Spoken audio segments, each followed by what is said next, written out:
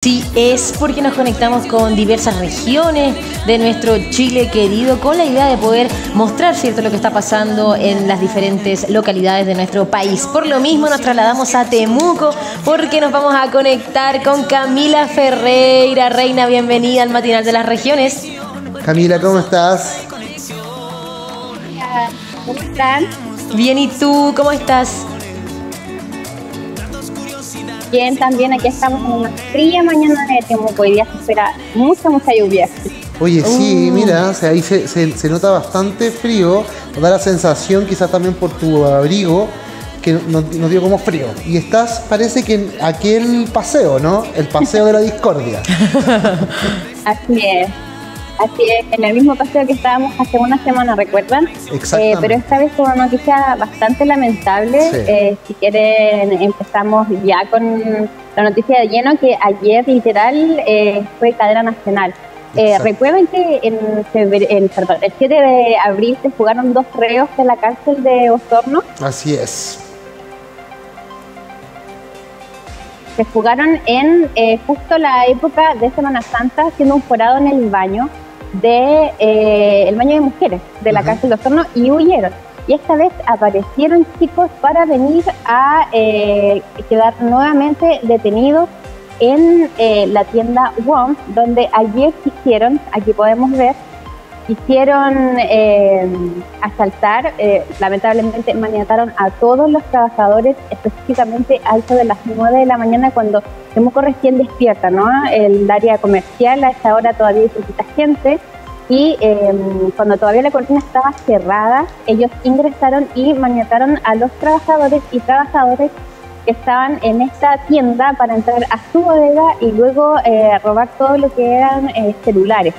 Eh, según les puedo comentar ahora, nosotros ya hablamos con los trabajadores que están hoy día, no son los mismos de ayer, esto porque están con licencia psicológica, quienes estuvieron presentes ayer, eh, estos dos eh, detenidos, que son Juan Riquelme y Rafael Rojo, eh, son los que protagonizaron este asalto junto al hermano de, em, de Riquelme. Y eh, como el carabinero está muy cerca de acá, acudió el llamado de los testigos y gracias a eso pudieron, pudieron ser detenidos de manera flagrante, por lo tanto pasaron a control de detención. Hoy, esta mañana, se espera que sean ya ver qué es lo que va a pasar con ellos, porque uno contaba con una condena previa Mm. eh, en Los Ángeles.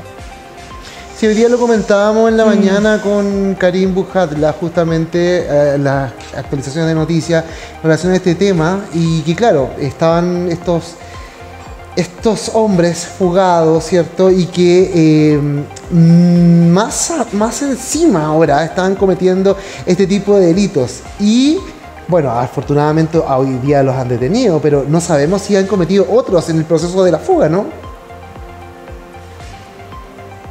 Claro, así es. Eh, según comentaron eh, testigos, estos intentaron salir por el segundo piso. Eh, tengo que mencionar que esto se trata como de un portal, digámoslo Ya. así, de varios locales unidos. Al lado hay una tienda de zapatillas de alto valor y luego hay un, un local que todos lo conocemos, un McDonald's. Entonces, se trata como de una unión. Eh, y claro, One está esta tienda entre medio Claro. y gracias a, a, como decía, la presencia de carabineros cercanos, estos fueron detenidos aun cuando había gente maniatada adentro. De hecho, había hasta una señora del aseo maniatada. Mm. También, como se pudo constatar, fue en, en un muy mal estado de, de ánimo, digámoslo así. Estaba bastante angustiada y por lo mismo todos están eh, con licencia médica en este momento y según me comentaron los trabajadores que están hoy dentro, no eran los mismos de ayer, pero eh, tienen prohibición de hablar eh, cualquier tipo con la prensa. E incluso les puedo comentar, chicos, que la tienda al lado, que está de zapatillas, hoy amaneció con un guardia, que antes no estaba. Mm. Cami, te hago una consulta con respecto a la razón por la cual estos reos se encontraban en la cárcel. ¿Se maneja información del porqué, digamos, de, de su estado? Así es, uno de ellos eh, contaba con una detención, eh, debía cumplir ocho años, básicamente por delitos en lugares no habitados y luego por intimidación. Eh, los dos sumaban más o menos condenas, cinco condenas Y, lo que sucede es que el hermano de uno de ellos tenía domicilio acá en Temuco, por lo tanto, luego de fugarse, fue hasta acá donde llegaron y este hermano también eh, fue detenido de solo 23 años, eh, literal a unos metros de acá, fueron, como muestran las imágenes, fueron detenidos en flagrancia y fueron estas tres personas las que, todos básicamente con antecedentes penales. Bueno, es una situación que en realidad lo hemos comentado acá eh, de, de, seguridad, ¿no? De, más bien de inseguridad que se está viviendo en nuestro país y que evidentemente eh, siempre se habla de la región metropolitana que van sucediendo distintos hechos, ¿no? Pero obviamente todas las regiones están pasando situaciones como estas. Ahora, lo cierto es que em, preguntarte también, eh, Camila, más allá de esta detención, eh, tú hablabas que otras tiendas ya han aparecido, por ejemplo, con un guardia. ¿Cuál es el nivel que, de violencia que se está viviendo en esa zona, que es la zona comercial, ¿no? ¿Han tenido otro tipo de robos de este tipo? Así es, mira, acá en Temuco los robos son bastante em, abundantes, digámoslo así, por eso mismo ayer se llamó al alcalde de Temuco para confirmarlo dentro de unas 10 primeras ciudades que va a tener el plan Calles sin Violencia, claro. pero la verdad es que nunca había pasado un asalto a mano armada a esa hora de la mañana.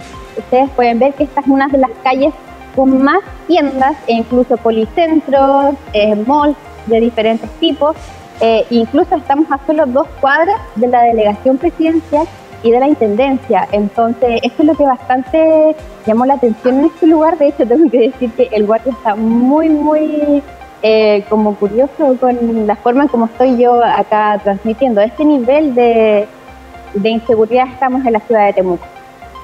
Me imagino que también ahí tú estás con el nervio. Bueno, cada uno de nosotros, independientemente de donde nos encontremos, siempre tenemos que tener cuidado porque ya sabemos que, bueno, somos un punto fácil, una presa fácil, entre comillas, si uno se expone, digamos, directamente con eh, algún aparato móvil, en este caso el celular, por donde tú estás transmitiendo, Cami, qué nervio.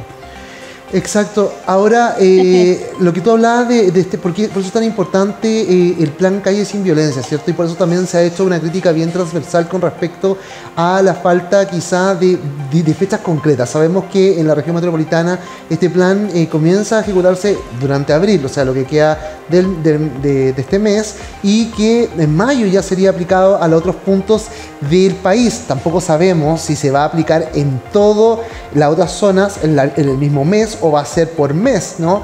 Lo que sí está claro es que esto se requiere con urgencia, porque estas situaciones se están repitiendo en distintos puntos de nuestro país.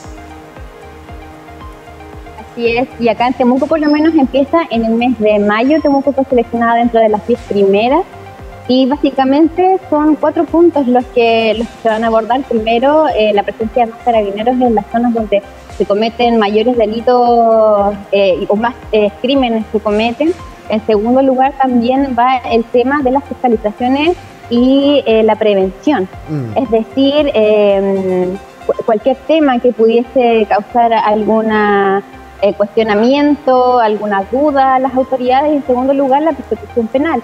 Eh, pero lamentablemente sabemos que ahí es donde falla como el, el eslabón, ¿cierto? Carabineros hace mucho, mucho eh, su pega, pero luego cuando pasa estos temas, por ejemplo, eh, porque como podemos ver, había una persona que ya contaba con una detención pendiente y estaba acá en Temuco domiciliada, entonces lamentablemente es como por ahí donde hay que, poner más fuerza, por lo menos.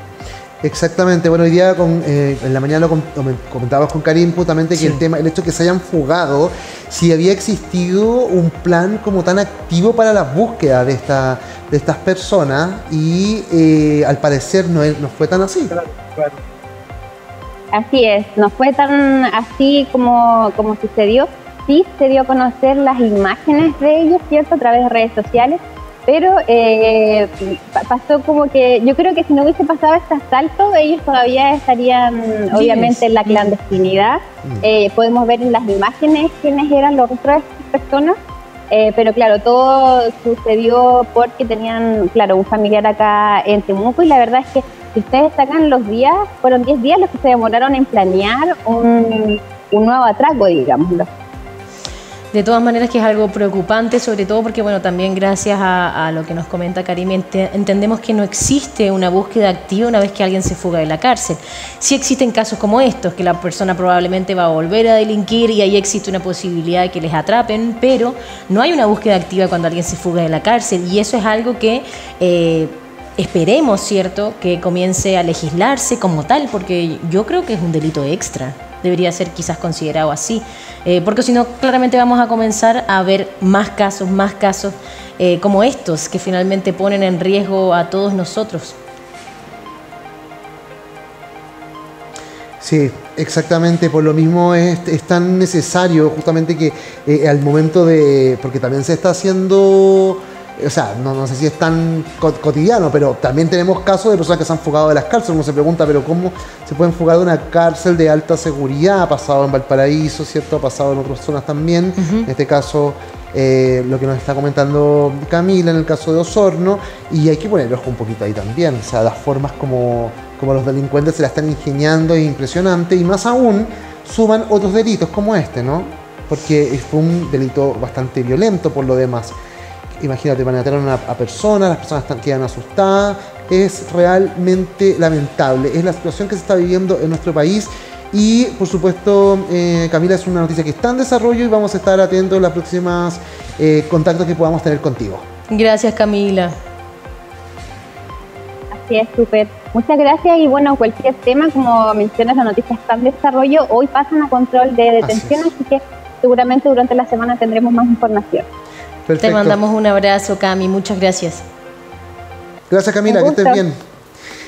Bien, Camila Ferreira, desde Temuco, como bien decíamos, conectamos con distintos puntos de nuestro país, con la idea, por supuesto, de ir visibilizando diversas realidades.